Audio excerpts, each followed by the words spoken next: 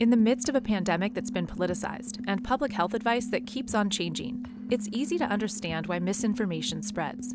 I've read articles about putting a little chip in with the vaccine. So when the, the cameras, the 5G comes out, what? They're, they're gonna they're gonna scan everybody. We got to get scanned. All of you are practicing the devil's laws. What happened to Bill Gates? Why is he not in jail? It's a big thing that's going on TikTok right now. What, can you just put that to rest and say how ridiculous it is that, that Um, we are not that's being injected with chips? Is what I want. We you are to not tell- being injected with chips.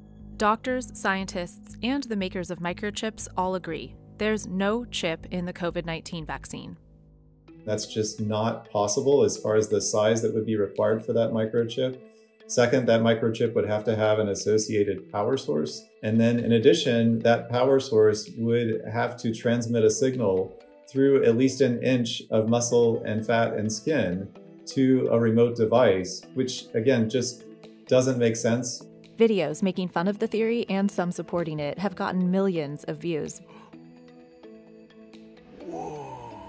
But the vaccine does not inject a microchip that can track you, make you magnetic, or connect you to a 5G network. There's lots of stuff that the government can use to track us through our phones, through our credit cards. The vaccine is the least of your worries. Still, when 1,500 American adults were asked in July whether the U.S. government is using the COVID 19 vaccine to microchip the population, 5% said it was definitely true, while another 15% said it was probably true. Only 46% said it was definitely false. Often, our belief in some of these misinformation and some of these conspiracy theories comes from a desire to make the world a better place or protect the ones that we love. This pandemic should have been one of those things that brought us together, just like 9 11 brought us together. But right now, we're very much still divided. And quite honestly, our counts in my hospital right now are higher than they ever been throughout the entire pandemic.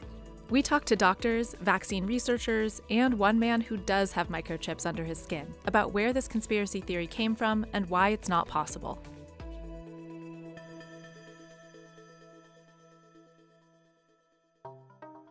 The first requirement for a conspiracy theory to take hold is that it's rooted in something plausible. In this case, one of the places it started is this 22 page paper on quantum mechanics. Kevin McHugh wrote it when he was a postdoctoral fellow at MIT. It's interesting to see how someone takes like a little bit of truth and then spins it into some totally different story that's just, you know, not based in fact anymore. The research, conducted only on rats so far, explored how minuscule light emitting particles called quantum dots could be delivered to the skin to record vaccine history, specifically in lower income nations that don't have electronic medical records. It's not a microchip, it's a nanoparticle. We couple it to the actual vaccine itself so no one can possibly kind of make a mistake that would cause a child to be unprotected. It does play on very real insecurities about living in the modern world, about having your data collected, things that we know to be true. And conspiracy theories work well because they lean on those kernels of truth. Next ingredient for a conspiracy that sticks is funding from someone rich and famous. Bill Gates has kind of often been included in conspiratorial rhetoric because he represents this global elite. And most conspiracies are about sort of tackling, you know, a global cabal. The Bill and Melinda Gates Foundation helped found Global Vaccine Alliance Gavi two decades ago. That's why our foundation has committed over 250 million to support COVID-19 vaccine research. The Gates Foundation also funded that MIT study on quantum dots. The connection was enough to put Bill Gates at the center of the conspiracy. A day before last year's vaccine summit, Gates addressed the conspiracy theory in a call with reporters. This information thing is just so weird. There's no chips or anything like that, you know, that have any connection to this thing. I mean, it's almost hard to deny this stuff because it's so stupid or strange. Over the past year, Bill Gates was mentioned in reference to vaccine microchips or barcodes nearly 159,000 times across traditional, social, broadcast, and online media. As the co founder of Microsoft, he's also targeted by the anti tech movement and all the fear around 5G. This ties in the last ingredient for a successful conspiracy theory a buzzword to make it go viral.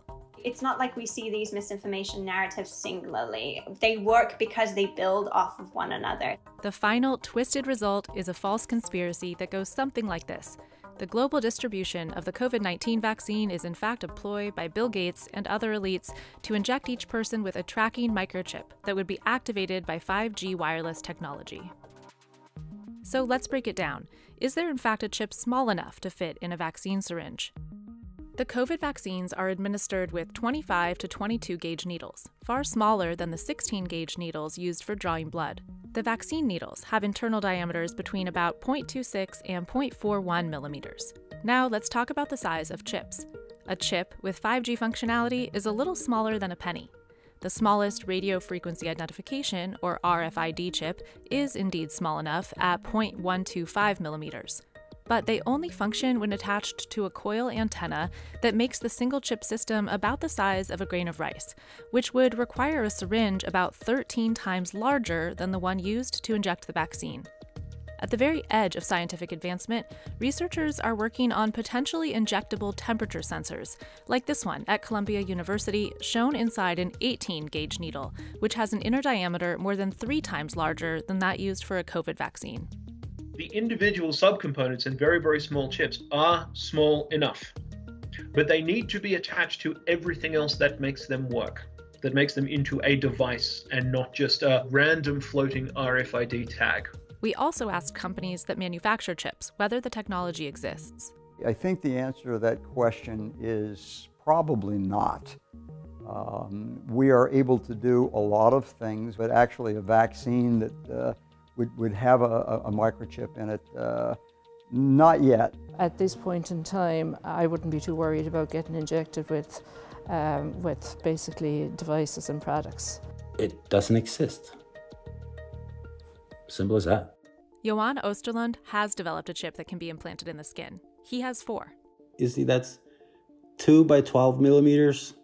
It's the size of a luxurious grain of rice, and it contains an antenna, a ferritic rod to attract more EM, and a tiny microchip that contains a, a tiny, tiny memory Osterlund's injected the RFID chips in about 6,000 people so far, mostly in Sweden, charging up to 150 euros per device. He uses a needle more than 10 times bigger than the one used for vaccines. I do single sign on on my laptop, I don't know, 50 times a day, unlocking your phone, getting into my house. It's, it's, it's strictly convenience. RFID chips have been commercially available since the 70s. They store a tiny amount of data which can be read from a few inches away by other devices enabled with near field communication, or NFC technology. Now that NFC has taken off, RFID chips allow things like paying without swiping your card, keyless access to your building, and quick entry to public transit.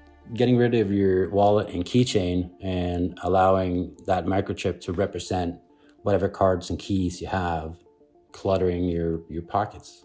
But the value of the Biohax chips is that each one is unique. The way COVID vaccines are administered makes it impossible to ensure even a non specific chip would end up in each arm. While the Biohax chips are injected using a large syringe pre filled with the unique RFID device, the COVID vaccine is drawn up from a vial that contains between 5 and 15 doses. Dr. Matt Lawrence is a co investigator on the phase 3 trials of the Moderna and Novavax COVID vaccines.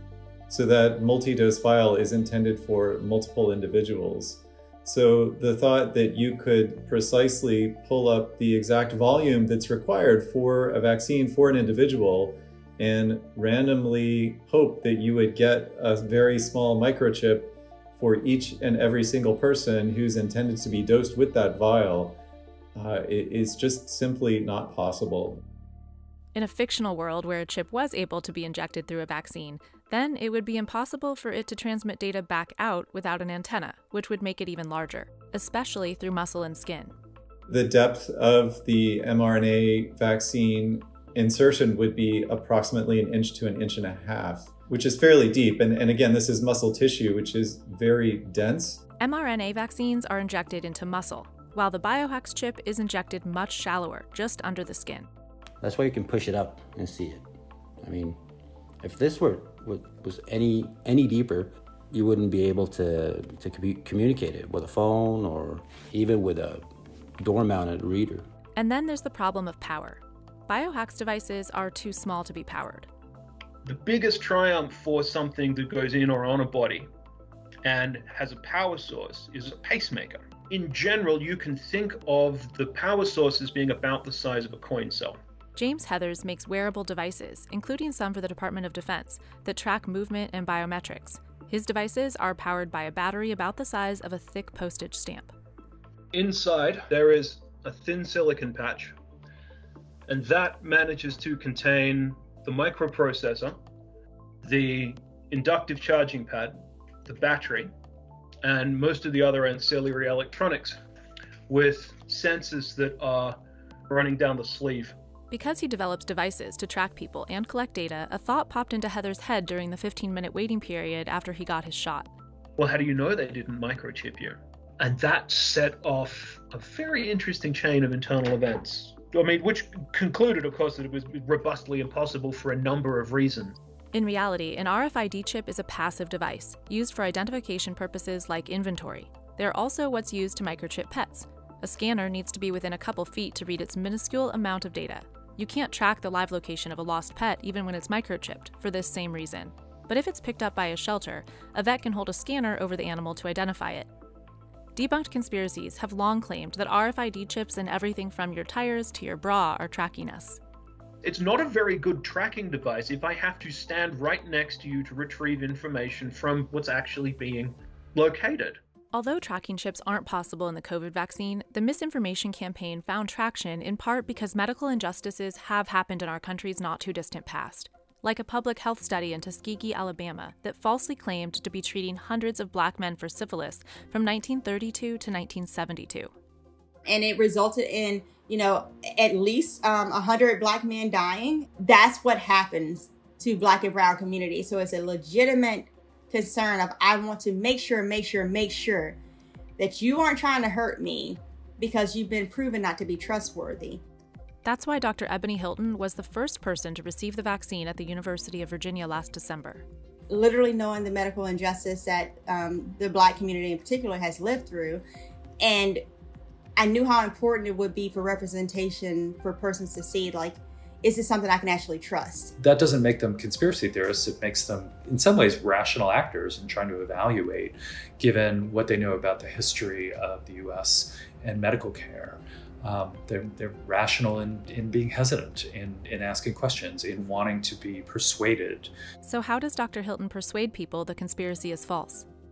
Because we have racial health disparities and we know that black and brown people are dying at higher rates from COVID-19 infections, if the government did not give us access to the vaccine, that would be Tuskegee Part 2, right? A new version of it. And if you're looking at who actually were the first persons in line to get vaccinated, they were the Donald Trumps of the world. They they were, you know, um, the Mitch McConnells. Fear of government overreach has resurfaced with President Biden's recent vaccine mandate for federal workers and contractors. Although in reality, it's nothing new. George Washington required his colonial army to be vaccinated against smallpox. The best way of keeping the disease from spreading and ultimately wiping it out is to reach herd immunity. In reality, orchestrating such a complex plot would require mass cooperation from companies and government leaders.